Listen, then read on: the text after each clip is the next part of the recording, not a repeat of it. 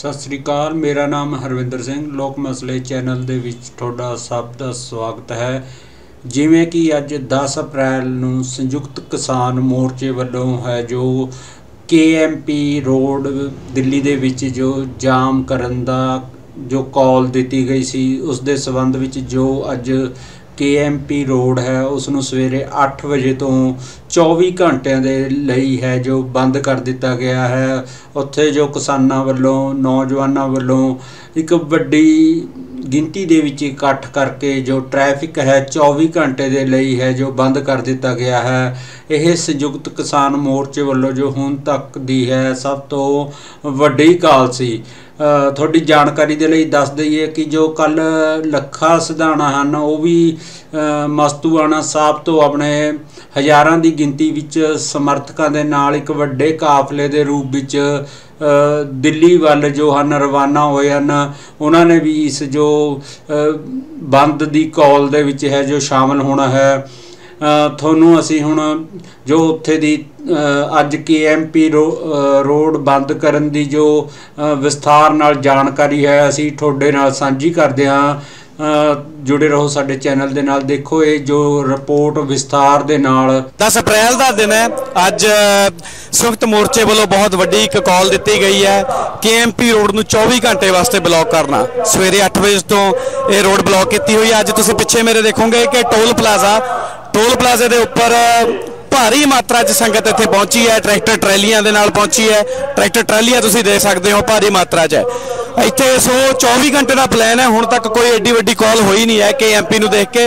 ਅੱਜ ਪਹਿਲੀ ਵਾਰ 24 ਘੰਟੇ ਦਾ ਪਲਾਨ ਇਹਨਾਂ ਨੇ ਰੱਖਿਆ ਸੋ ਇਹਦੇ ਮੱਦੇਨਜ਼ਰ ਆਪਾਂ ਦੇਖਦੇ ਹਾਂ ਕਿ ਨੌਜਵਾਨਾਂ ਦਾ ਬਹੁਤ ਵੱਡਾ ਉਤਸ਼ਾਹ ਦੇਖਣ ਨੂੰ ਮਿਲੂਗਾ। ਤੁਸੀਂ ਅੱਜ ਦੇਖਿਆ ਹੀ ਹੈ, ਜਿਵੇਂ ਬਹੁਤ ਭਾਰੀ ਮਾਤਰਾ 'ਚ ਇੱਥੇ ਨੌਜਵਾਨ ਪਹੁੰਚੇ ਹੋਏ ਨੇ।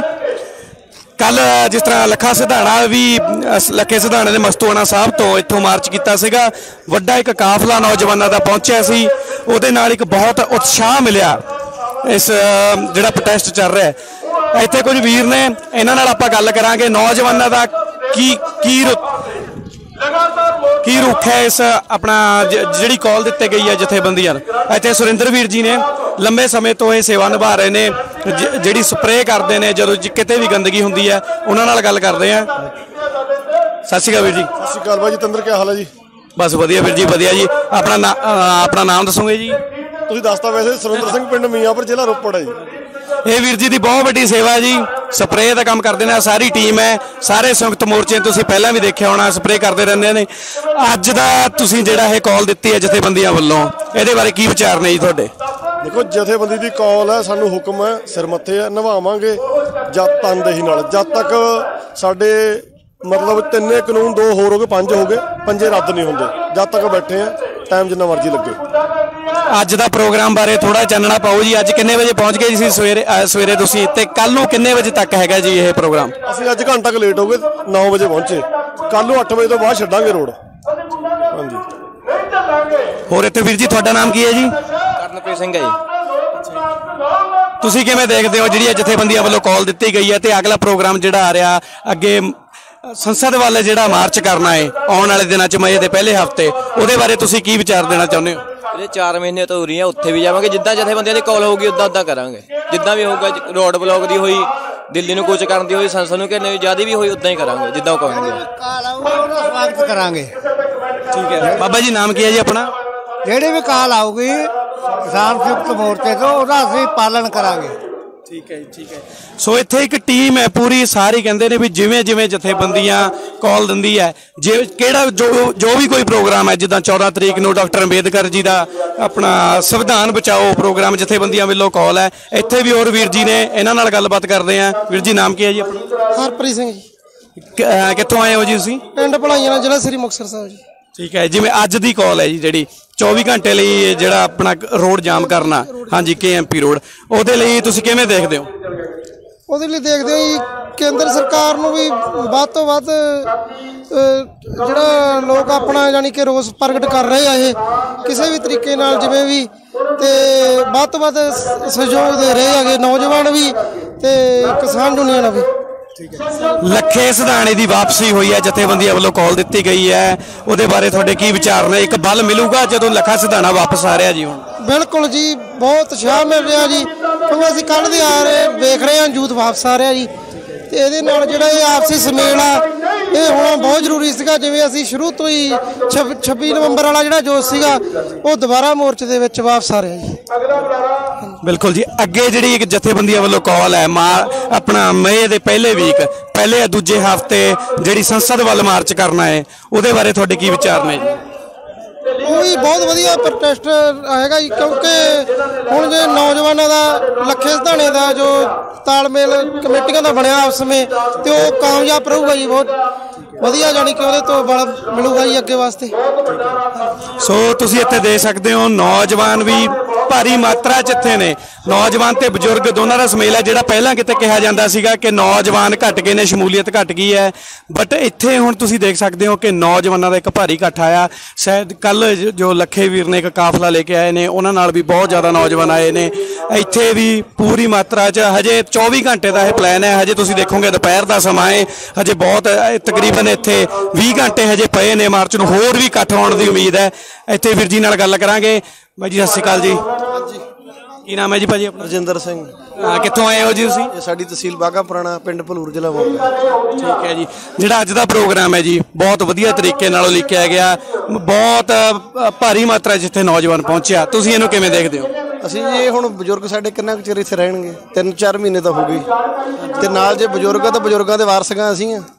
ਇਹ ਮੋਰਚੇ ਨੂੰ ਅਸੀਂ ਵੀ ਅੱਗੇ ਸੰਭਾਲਣਾ। ਜੇ ਹੁਣ ਬਜ਼ੁਰਗ ਸਾਨੂੰ ਕੀ ਕਹਿੰਦੇ ਵੀ ਭਵਿੱਖ ਖਤਰੇ 'ਚ ਕਿੰਨਾ ਦਾ ਹੁਣ ਇੱਥੇ? ਸਾਡਾ ਅਗਲੀ ਆਉਣ ਵਾਲੀ ਪੀੜ੍ਹੀ ਦਾ ਨਾ। ਤੇ ਜੇ ਆਉਣ ਵਾਲੀ ਪੀੜ੍ਹੀ ਹੁਣ ਨਾ ਉੱਠੀ ਤਾਂ ਫੇਰ? ਫਿਰ ਤਾਂ ਕਹਾਣੀ ਖਤਮ ਹੋ ਜਾਣੀ ਹੈ। ਤੇ ਨਾਲੇ ਬਜ਼ੁਰਗ, ਜਿਹੜੀ ਬਜ਼ੁਰਗਾਂ ਦੀ ਜ਼ਿੰਮੇਵਾਰੀ ਉਹ ਨਿਭਾਉਂਦੇ ਜੇ ਉਹ ਨੌਜਵਾਨ ਘਰਾਂ 'ਚ ਬੈਠੇ ਰਹੇ, ਫਿਰ ਤਾਂ ਗੱਲ ਨਹੀਂ ਨਾ ਬਣਨੀ। ਬਿਲਕੁਲ ਜੀ, ਤੁਸੀਂ ਦੇਖ ਸਕਦੇ ਹੋ ਨੌਜਵਾਨਾਂ ਦੇ ਹੌਸਲੇ ਬਿਲਕੁਲ ਬੁਲੰਦ ਨੇ ਜੀ। ਉਹ ਕਹਿ ਰਹੇ ਆ ਵੀ ਸਾਡੀ ਜ਼ਿੰਮੇਵਾਰੀ ਬਣਦੀ ਹੈ ਹੁਣ ਕਿਉਂਕਿ ਆਉਣ ਵਾਲੀਆਂ ਪੀੜ੍ਹੀਆਂ ਨੂੰ ਸਾਨੂੰ ਜਵਾਬ ਜਵਾਬ ਦੇਣਾ ਪੈਣਾ। ਬਜ਼ੁਰਗ ਵੀ ਇੱਥੇ ਬੈਠੇ ਨੇ। ਬਜ਼ੁਰਗੋ ਸਤਿ ਸ਼੍ਰੀ ਅਕਾਲ ਜੀ ਕੀ ਨਾਮ ਹੈ ਜੀ ਤੁਹਾਡਾ ਜੀ? ਚਲੋ ਕੋਈ ਗੱਲ ਨਹੀਂ ਬਜ਼ੁਰਗ ਥੋੜੇ ਇੱਧਰ ਹੋਰ ਵੀਰ ਨੇ ਤੁਸੀਂ ਇਹਨਾਂ ਨਾਲ ਗੱਲ ਕਰ ਲਓ ਇੱਧਰ ਵੀਰ ਜੀ ਨੇ। ਇਹ ਭੁੱਖ ਹੜਤਾਲ ਤੇ ਵੀ ਬੈਠੇ ਰਹੇ ਨੇ ਸਟੇਜ ਦੇ ਪਿੱਛੇ ਇਹਨਾਂ ਨੇ 3 ਮਹੀਨੇ ਤਕਰੀਬਨ ਭੁੱਖ ਹੜਤਾਲ ਕੀਤੀ ਹੈ। ਵੀਰ ਜੀ ਕੀ ਨਾਮ ਹੈ ਜੀ ਆਪਣਾ ਜੀ? ਮਹੰਤ ਜੈ ਸਿੰਘ ਪਿਆਲਾ। सीधी सी बात, ना मिर्च मसाला कह के रहेगा कहने वाला। रब दा खेल निराला कह के रहेगा कहने वाला। ये डंके की चोट पे आंदोलन शुरू हुआ है। आज़ादी के उसी नारे को लेके जिस, जय जवान, जय किसान को नारे को बुलंदी पे हमारे इन क्रांतिकारियों के वंशज और तमाम भाइयों ने बुलंदी पे पहुँचाया था। इसी प्रकार देश की आज़ादी ली थी। आज वही समय, वही इतिहास अपने आप को दोहरा रहा है। आज़ादी की दूसरी लड़ाई शुरू हो चुकी है, क्योंकि देश को हम दोबारा गुलाम नहीं बनने देंगे, निजीकरण नहीं होने देंगे, अपने किसान पे अत्याचार नहीं होने देंगे, मजदूर पे अत्याचार नहीं होने देंगे, और जो कमेरा वर्ग है, तमाम वर्गों में, जो गवर्नमेंट के डिपार्टमेंटों का निजीकरण दिन प्रतिदिन ये बढ़ता जा रहा है। तीन सौ पैंसठ टन सोना विकास के नाम पर इन्होंने गिरवी रखा। हिसाब चाहिए उसका। स्पष्टीकरण चाहिए। स्विस बैंक की लिस्टें, जो ये कूद कूद कर एक आँख वाला बाबा रामदेव बोलता था, स्विस बैंक ब्लैक मनी आएगा, ब्लैक मनी आएगा। तुम ब्लैक डॉग है, तू ब्लैक मनी है, तू ब्लैक डॉग है, तू ब्लैक व्यक्ति है जो देश को काला कर रहा है। हम देश को काला नहीं होने देंगे। ये सोने की चिड़िया था, सोने की चिड़िया है, सोने की चिड़िया रहेगा। हमें उन सभी बातों का हिसाब और जवाब चाहिए। ये तीन काले कानून जो तुम समर्थन में खड़े हो, तुम्हारी वजह से, और एमपी एमएलए राज्यसभा के, ये पेंशन छोड़ने को तैयार नहीं है, काले कानून पे बोलने को तैयार नहीं है, इनसे भी समय आने पे बाईकाट किया जाएगा। हर ज़िले में, हर ब्लॉक में, हर डिस्ट्रिक्ट में हर स्टेट में इनका टोटल बाईकाट किया जाएगा, घेराव किया जाएगा। हम आंदोलन की तरफ़ बढ़ रहे हैं, बहुत चट्टान की तरह हमारा आंदोलन मज़बूत है और दिन प्रतिदिन हमारे किसान भाइयों का, बुज़ुर्गों का, माताओं का, बहनों का, सभी का हमें साथ मिल रहा है और पत्रकार भाई दिन रात तमाम सेवाओं में लगे हुए हैं। जय जवान, जय किसान। ਤੁਸੀਂ ਦੇਖੋਗੇ ਜੀ ਪੂਰਾ ਉਤਸ਼ਾਹ ਹੈ ਜੀ ਸਾਰਿਆਂ 'ਚ ਭਾਵੇਂ ਨੌਜਵਾਨ ਨੇ ਭਾਵੇਂ ਬਜ਼ੁਰਗ ਨੇ। ਇੱਧਰ ਬਾਬਾ ਜੀ ਨਾਲ ਗੱਲ ਕਰਾਂਗੇ। ਇਹ ਉਹੀ ਬਾਬਾ ਜੀ ਨੇ ਜਿਹੜੇ 18 ਘੰਟੇ ਟਰੈਕਟਰ ਚਲਾ ਕੇ ਪਹੁੰਚੇ ਸੀਗੇ। ਇੱਥੇ ਮੋਹਾਲੀ ਜ਼ਿਲ੍ਹੇ ਤੋਂ ਨੇ ਜੀ। ਇਹਨਾਂ ਨਾਲ ਗੱਲ ਕਰਦੇ ਆ ਜੀ। ਬਾਬਾ ਜੀ ਸਤਿ ਸ਼੍ਰੀ ਅਕਾਲ ਜੀ। ਸਤਿ ਸ੍ਰੀ ਅਕਾਲ ਬਾਈ ਸਤਿ ਸ੍ਰੀ ਅਕਾਲ। ਕੀ ਨਾਮ ਹੈ ਜੀ ਆਪਣਾ ਜੀ? ਮੋਹਨ ਸਿੰਘ ਹੈ ਮੇਰਾ ਕਿਹੜਾ ਜ਼ਿਲ੍ਹਾ ਜੀ? ਹੈ ਜੀ? ਜ਼ਿਲ੍ਹੇ ਕਿਹੜੇ ਤੋਂ ਜੀ? ਮੋਹਾਲੀ ਜ਼ਿਲ੍ਹਾ ਜੀ। ਅੱਜ ਦੀ ਜਿਹੜੀ ਕਾਲ ਹੈ ਜਿਹੜੀ ਜਥੇਬੰਦੀਆਂ ਵੱਲੋਂ ਦਿੱਤੀ ਗਈ ਹੈ ਜਿਹੜਾ ਆਪਾਂ ਕੇਐਮਪੀ ਜਾਮ ਕੀਤਾ 24 ਘੰਟੇ ਵਾਸਤੇ ਕਿਵੇਂ ਦੇਖਦੇ ਹੋ ਉਹਨੂੰ? ਇਹ ਤਾਂ ਜਾਮ ਤਾਂ ਫਿਰ ਇਹਨਾਂ ਕਾ- ਸਰਕਾਰ ਹੀ ਕਰਾ ਰਹੀ ਹੈ ਨਹੀਂ ਕਿਸਾਨਾਂ ਜਿੰਨਾ ਲੋੜ ਨਹੀਂ ਜਾਮ ਕਰਨੇ ਇਹ ਨਹੀਂ ਅੱਜ ਖਲੋ ਮੈਂ ਅੱਜੇ ਖੋਲ ਦੂੰਗੇ ਇਹ ਤਾਂ ਕੋਈ ਚੱਕਰ ਨਹੀਂ ਨਾ ਕਹਾਂ ਤਿੰਨੇ ਕਾਨੂੰਨ ਵਾਪਸ ਕਰਾਂ। ਆਪਾਂ ਅੱਜੇ ਚੱਕ ਲੈਣੀ ਟਿੰਡ ਫੋੜੀ ਹਾਂ ਇਹ ਤਾਂ ਇਹਨਾਂ ਦੀ ਮਰਜ਼ੀ ਹੈਗੀ। ਜਾਤੀ ਇਹਨਾਂ ਨੇ ਕਰਵਾਉਣਾ ਇਹ ਕੰਮ ਕਰਵਾਈ ਜਾਏ ਆਪਾਂ ਤਿਆਰ ਹਾਂ ਜੇ 6 ਮਹੀਨੇ ਲਵਾਵਾਂ ਸਾਲ ਲਵਾਵਾਂ ਨਹੀਂ ਜੀ ਮਰਜ਼ੀ ਹੈ। ਬਸ। ਜੋਸ਼ ਪੂਰਾ ਜੀ ਚੜ੍ਹਦੀ ਕਲਾ ਪੂਰੀ। ਮੈਂ ਕਿਹਾ ਚੜ੍ਹਦੀ ਕਲਾ ਬਟੇ ਕੱਢ ਦੂੰ। ਠੀਕ ਹੈ ਹੋਰ ਕੀ। ਔਰ ਬਾਬਾ ਜੀ ਕੀ ਨਾਮ ਹੈ ਜੀ ਆਪਣਾ? ਮੇਲ ਆ ਜੀ। ਠੀਕ ਹੈ। ਤੁਸੀਂ ਦੇਖ ਸਕਦੇ ਹੋ ਜੀ, ਚੜ੍ਹਦੀ ਕਲਾ ਚ ਨੇ ਸਾਰੇ, ਐਨ ਪੂਰੀ ਚੜ੍ਹਾਈ ਚ ਨੇ। ਕਹਿੰਦੇ, ਜਦੋਂ ਮਰਜ਼ੀ ਤੱਕ ਅੰਦੋਲਨ ਚੱਲੇ, ਅਸੀਂ ਪੂਰੀ ਚੜ੍ਹਦੀ ਕਲਾ ਚ ਰਵਾਂਗੇ। ਸੋ, ਬਹੁਤ ਹੀ ਵਧੀਆ ਉਤਸ਼ਾਹ ਦੇਖਣ ਨੂੰ ਮਿਲ ਰਿਹਾ। ਇੱਕ ਵਧੀਆ ਇੱਕ ਦੁਬਾਰੇ, ਇੱਕ ਤੁਸੀਂ ਕਹਿ ਸਕਦੇ ਹੋ ਕਿ ਉਜਾਗਰ ਉਜਾਗਰਤਾ ਹੋ ਗਈ ਹੈ ਨੌਜਵਾਨਾਂ 'ਚ, ਨਾਲੇ ਬਜ਼ੁਰਗਾਂ 'ਚ, ਇੱਕ ਨਵਾਂ ਜੋਸ਼ ਭਰਿਆ ਜਦੋਂ ਤੁਸੀਂ ਦੇਖ ਸਕਦੇ ਹੋ ਵੀ ਬਹੁਤ ਭਾਰੀ ਮਾਤਰਾ 'ਚ ਸਾਡੀਆਂ ਬੀਬੀਆਂ, ਸਾਡੀਆਂ ਭੈਣਾਂ ਵੀ ਨੇ ਇੱਥੇ। ਬਹੁਤ ਹੀ ਵਧੀਆ ਤਰੀਕੇ ਨਾਲ ਅੰਦੋਲਨ ਚੱਲ ਰਿਹਾ, ਸਟੇਜ ਲਗਾਈ ਗਈ ਹੈ, ਲੰਗਰ ਪਾਣੀ ਦਾ ਪ੍ਰਬੰਧ ਬਹੁਤ ਵਧੀਆ ਹੈ। ਸੋ ਸਾਡੇ ਨਾਲ ਜੁੜੇ ਰਹੋ, ਦੁਬਾਰੇ ਤੁਹਾਨੂੰ ਫੇਰ ਲਾਈਵ ਹੋਵਾਂਗੇ। ਸੋ ਜਦ ਤੱਕ ਲਈ ਸਤਿ ਸ੍ਰੀ ਅਕਾਲ, ਵਾਹਿਗੁਰੂ ਜੀ ਕਾ ਖਾਲਸਾ, ਵਾਹਿਗੁਰੂ ਜੀ ਕੀ ਫਤਿਹ।